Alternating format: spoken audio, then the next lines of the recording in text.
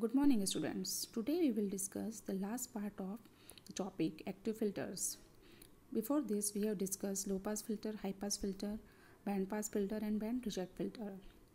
Next type of filter is all pass filter. An all pass filter is the filter which passes all the frequency components of the input signal without attenuation. But it provides phase shift for different frequencies of input signals. All pass filter are also called as delay equalizer or phase corrector. The circuit diagram for all pass filter is shown in the figure A. As we can show as we can see from the figure that there are three resistances R1, RF and R. One capacitor C is connected to make the circuit of all pass filter. This circuit diagram is designed when the output voltage is lagging behind the input voltage or we can say there is a phase shift between the output and input. This can be clear from the figure B, the input and output waveforms of input and output voltages.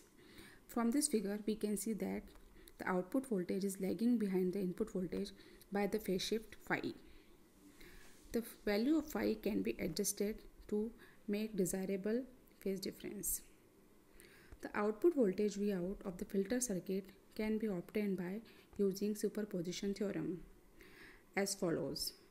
The Vout will be equals to the minus Vin plus minus Jxc upon R minus Jxc into Vin multiplied by 2. Now by putting the values of minus Jxc as 1 upon 2 pi fc we get Vout upon Vin equals to 1 upon Vout upon Vin equals to 1 minus J2 pi frc upon 1 plus J2 pi frc where f is the frequency of input signal. It is clear from the equation number 2 that the magnitude of the gain means mod of V out upon V in is equals to 1 or we can say that V out is equals to V in. The phase shift angle phi is given by the formula phi equals to minus 2 tan inverse 2 pi f RC. The same circuit can be replaced for the leading circuit by the replacing the value of R and C or we can say that if we replace the positions of R and C we will get the circuit when the output voltage is leading from the input voltage by some phase difference phi. So by interchanging the value of R and C we can get the different circuit. This is all about the all pass filter. Now next is narrow band stop filter or the notch filter.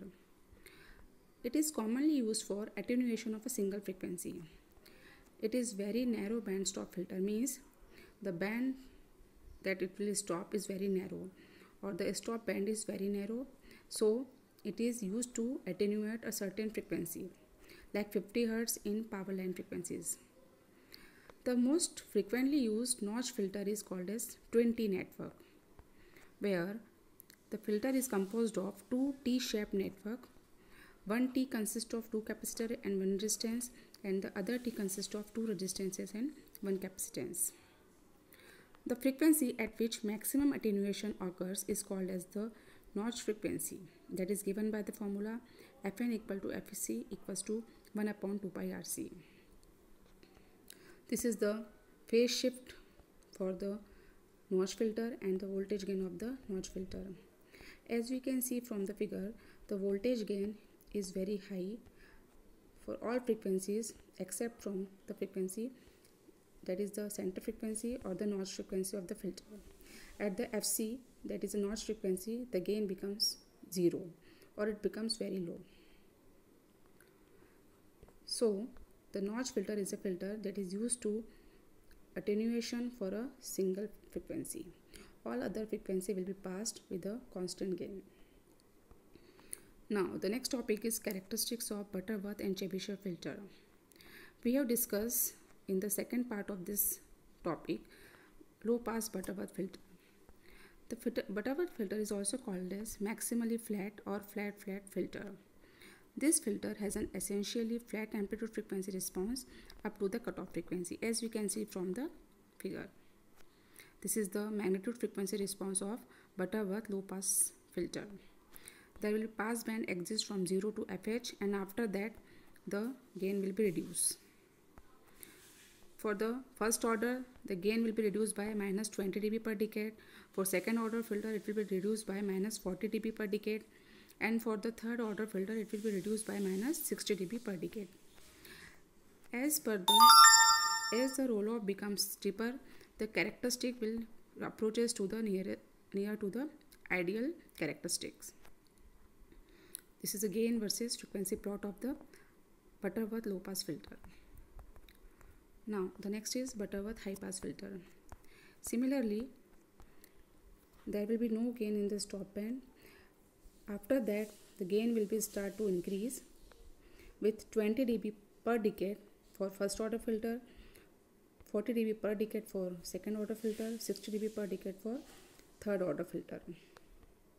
And it will reaches to the maximum value of 1 or 0 dB.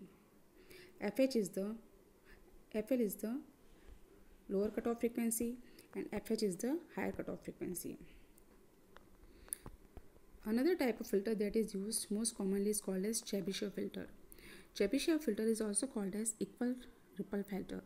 filter. It gives a sharper cutoff than Butterworth filter. The main drawback of this filter is the appearance of maxima and minima in the passband. As we can see, uh, as we can see from the figure, there is a maxima and minima exist between the passband.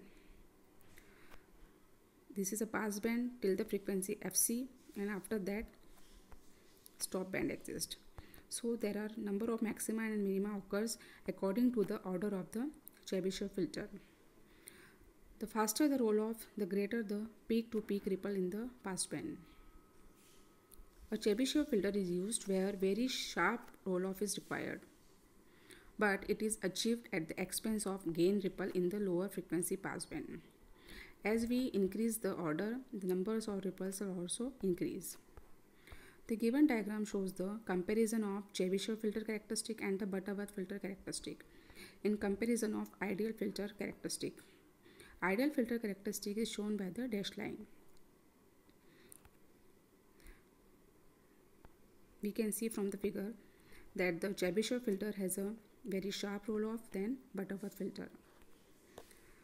Dear students, this is all about the topic active filters. Thank you.